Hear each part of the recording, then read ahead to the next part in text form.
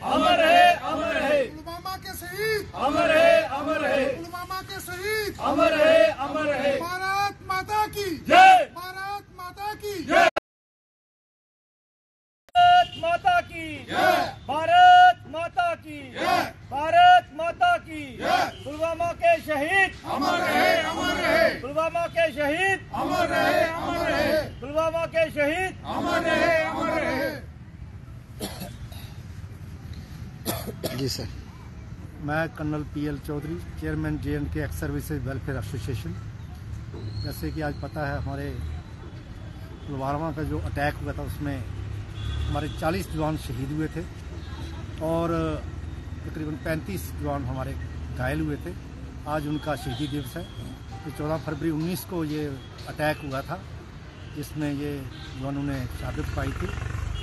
बड़ा दुख का दिन भी है, लेकिन उसके साथ गर्व का दिन भी है हमारे फौजियों के लिए, क्योंकि उन्होंने देश के लिए अपने प्राणों की आहुति दी।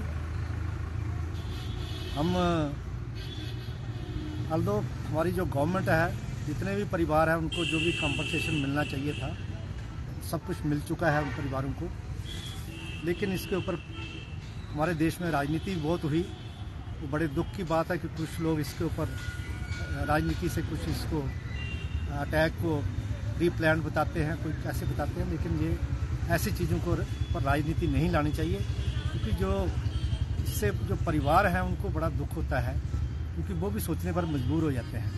तो पॉलिटिशियंस को जब भी कोई ऐसा वारदात होती है जिसमें हमारे जवान शहीद हो जाते हैं तो पॉलिटिशियंस को इन चीज़ों से दूर रहना चाहिए और उसमें उनको इसमें कोई राजनीति नहीं करनी चाहिए। और बाकी भी जो उसके बाद भी जो अटैक हुए हैं, उड़ी में अटैक हुआ है, उसके बाद तो हमारी गवर्नमेंट ने जो कदम उठाने चाहिए थे, उठाए हैं और पाकिस्तान में जाके उनको जो सबक सिखाना था, सिखाया है। और ये गवर्नमेंट ने आर्मी को काफ़ी आज़ादी दे रखी है टेररिस्ट के साथ डील करने के लिए। तो आज आप देखें कश्मीर के अंदर काफ़ी वहाँ पर शांति है। जो आज से 10 साल पहले जो हालत थे, आज हालत में काफ़ी सुधार आया है। ये सारी जो कोशिश है, ये हमारी पैरामिलिट्री फोर्सेस, आर्मी, नेवी, जितने भी हमारे पुलिस के जवान हैं, ये सब उनकी कोशिश से है कि उनकी शहादतों से ये जो शांति आई है, इसके लिए किसी न किसी कीमत चुकाई है।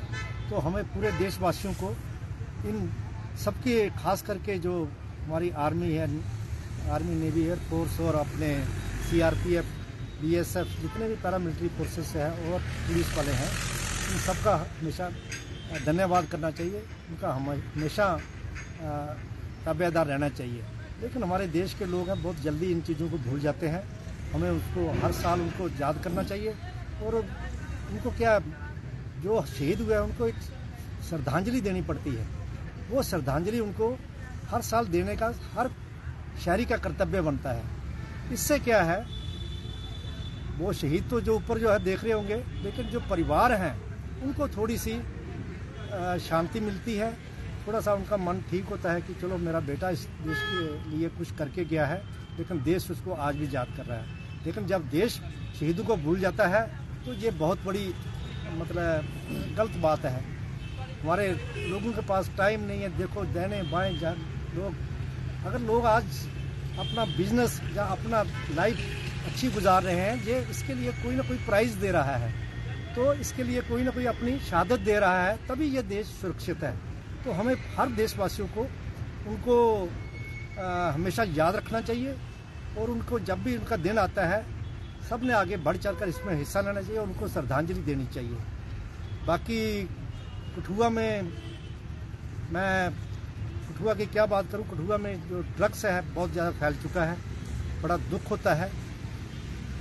अगर माँ बाप इसके बारे में सोचेंगे, इन चीज़ों के जो मैं बातें कर रहा हूँ, बच्चों को इसके बारे में उनको संस्कार देंगे तो बच्चा कभी भी ड्रग्स की तरफ़ नहीं जाएगा। क्योंकि जो बच्चे ड्रग्स की तरफ़ चले गए हैं, उनको वापस लाना बहुत मुश्किल है।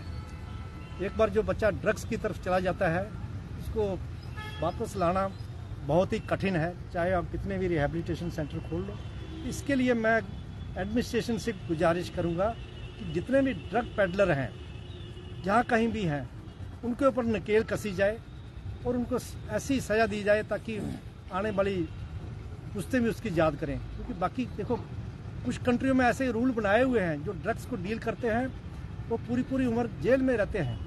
लेकिन जहाँ क्या है, बड़े दुख से कहना पड़ता है, जो ड्रग पेडलर है दो महीने के चौर तीन महीने के बाद उसको पी एस लगाते हैं तीन साल के बाद बाहर आ जाता है और फिर वो ये ड्रग पेडलिंग शुरू कर देता है। तो उस, उसके लिए भी उससे निकलना मुश्किल है। ऐसे बंदों को जेल से बाहर निकालना नहीं चाहिए। और बच्चे जो हैं मैं फिर जितने भी अपने ठुआ के बच्चे हैं उनको मैं वार्न करना चाहूँगा कि इसकी तरफ़ ध्यान न जाएँ। इसमें आप एक बार घुस गए तो वापस आना बहुत मुश्किल है। ड्रग्स में जो घुस गया है उसका चाहे तो मौत होती है, नहीं तो वापस लाना उसको बहुत मुश्किल है। तो मैं यहाँ की पुलिस एडमिनिस्ट्रेशन को, अपने डीसी साहब को भी गुजारिश करूँगा कि इसके ऊपर नकेल कसी जाए, क्योंकि बहुत से घर बर्बाद हो रहे हैं। ड्रग्स हमारी स्टेट के अंदर बढ़, दिन ब दिन बढ़ता जा रहा है। हमारा पड़ोसी देश पाकिस्तान है तो ड्रोन से ड्रग्स सप्लाई कर रहा है। तो इसके ऊपर अगर जाँच रखी जाए तो इसको कंट्रोल कोई बड़ी बात नहीं इसको कंट्रोल करना बहुत अच्छे तरीके से कंट्रोल कर किया जा सकता है।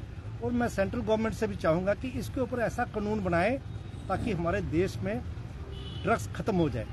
पंजाब में देखो, बाकी कंट्री में भी ये आस्ता आस्ता पैर फैला रहे हैं। तो मैं प्राइम मिनिस्टर से गुजारिश करूँगा कि ऐसी एक कानून बनाएँ ताकि जहाँ जो ड्रग्स करने वाला है और जो ड्रग्स बेचने वाला है दोनों, उनके ऊपर सख्त से सख्त कार्रवाई हो।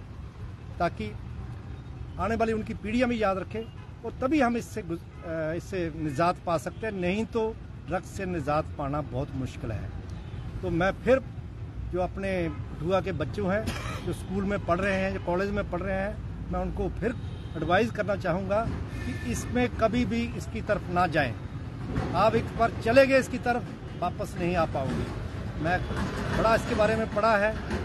इसमें दस साल भी अगर आप रिहेबिलिटेशन सेंटर में रखो तो उस बच्चे को वापस लाना बहुत मुश्किल हो जाता है। तो इन्हीं बातों के साथ मैं मीडिया का भी धन्यवाद करता हूँ और मेरे जितने भी साथी जहाँ आज आए हैं मैं उनका सबका धन्यवाद करता हूँ। थैंक यू जय हिंद जय भारत क्या बोलना जी सर। जी बोलिए। मैं बबलू सिंह जसोटिया समाज सेवक आज पुलवामा के पाँचवीं बरसी पर मैं उन वीर योद्धाओं को नमन करता हूँ और सच्ची श्रद्धांजलि देता हूँ। और जो ये जो आज के दिन ये जो एक शहादत उन्होंने देश के लिए दी थी तो मैं सबको नमन करता हूँ और यही आशा करता हूँ कि कभी भी आज के दिन हमने उनको भूलना नहीं चाहिए। आज के दिन हमने उनको सच्ची श्रद्धांजलि सबने हर सीट जगह में करनी चाहिए। तो दूसरा ये है कि जो सर्जिकल स्ट्राइक से जो हमारे देश के जो यशस्वी प्रधानमंत्री नरेंद्र भाई मोदी जी ने जो उनको दिया था, ये बहुत बढ़िया बढ़िया है। तो ऐसे ही पाकिस्तान जो नापाक हर- हरकतें करता रहता है तो इसका जवाब उसको मिलता रहेगा। आज से जैसे कर्नल साहब ने बताया दस साल से पहले कुछ हालात अलग थी। आज कश्मीर के हालात जम्मू कश्मीर के हालात बहुत ही भिन्न है। सब लोग सुख के सांस ले रहे हैं और अमन है पीस है। ज़ीरो टॉलरेंस जो एक हमारे अ, अ, अ, सरकार ने केंद्र सरकार ने जो, जो नीति बनाई है तो मैं उनका भी धन्यवाद करता हूँ और उन परिवार को नमन करता हूँ कि जिन्होंने और उनको एक जो पुलवामा के जो शहीद हैं उनके सभी परिवार को भगवान स्ट्रेंथन करे सद्भावना दे। तो इन्हीं शब्दों के साथ मैं सबका बहुत बहुत धन्यवाद करता हूँ। थैंक यू ठीक है बोलो बोलो thank you thank you sir